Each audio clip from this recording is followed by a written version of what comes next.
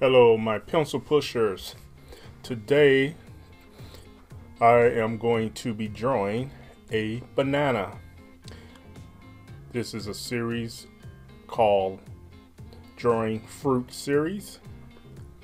I'll be showing you how to draw using basic shapes, using very simple lines and shapes to form your shapes.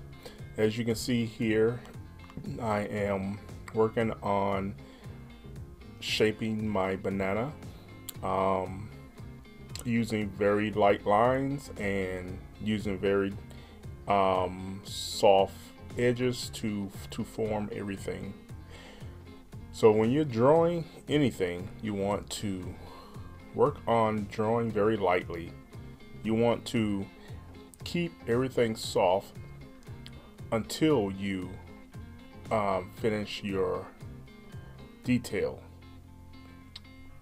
Now, um, once you have finished drawing everything that you think that will be the shape of your object, you want to come in and form the shape.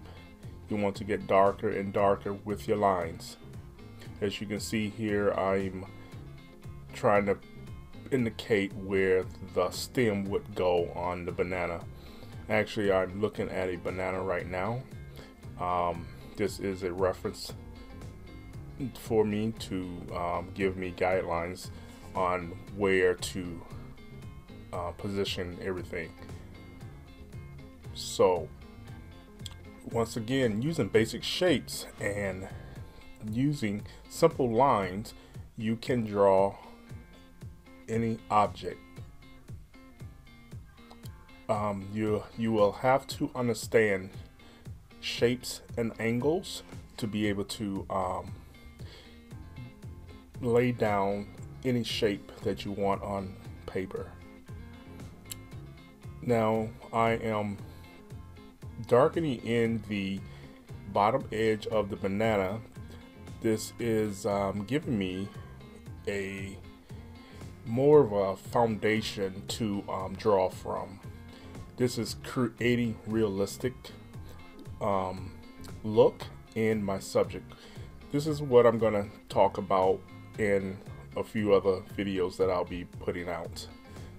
I'll be talking about how to create realistic look to shape and and and create a object that looks real. But right now I'm just dealing with um, very basic lines. Um, I'm um, now are going to put lines in that will indicate um, planes on the banana these would be um, I would say once you peel a banana you will get these sections that will open up. So I'm creating these these sections on the banana that will form that realistic look. Now I'm coming back in at the bottom just darkening in some more edges. Now this is a way to draw a banana. Thank you for watching. And if you want more drawing lessons, hook up with me on Zoom and we can do a one-on-one -on -one drawing session.